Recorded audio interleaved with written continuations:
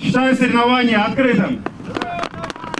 Старта зимнего этапа гонок на выживание любителей экстрима и скорости ждали давно. Теплая зима никак не позволяла выйти на трассу. Этой зимой мы планировали провести 5 этапов, но из-за плохой зимы мы вот проводим первый этап, и, возможно, он будет и крайний. Если поле растает, мы просто увязнем. У нас есть специальная грязевая резина, но в условиях такой зимы это будет просто болото, и даже на грязевой резине мы не проедем.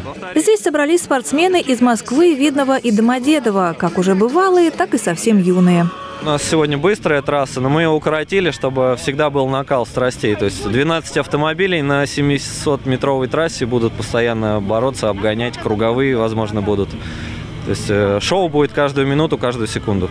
Самый молодой пилот гонок Тимофей Смирнов. Впервые он принял участие в заездах в 15 лет. Сначала выступал на старой машине, теперь мне как бы дали поновее, точ, ну, дали корпус, а мы достроили сами. Гул моторов, визг тормозов и море адреналина. Здесь можно безнаказанно выталкивать соперников с трассы. Главное при этом самим не перевернуться. Среди болельщиков был замечен и президент спортклуба «Металлург» Валерий Нефантьев. Он рассказал, что хоть гонки на выживание не так давно практикуются в муниципалитете, нет ничего удивительного в том, что технические виды спорта здесь так востребованы и популярны.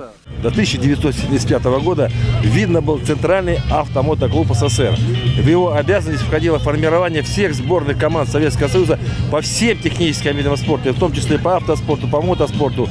И уже из Видного эти сборные команды уезжали за границу на, на, на различные чемпионаты мира, Европы. Гонки на выживание – это не только спорт, но и зрелищное шоу. Неудивительно, что каждый этап соревнований собирает множество зрителей, вход для которых всегда бесплатный.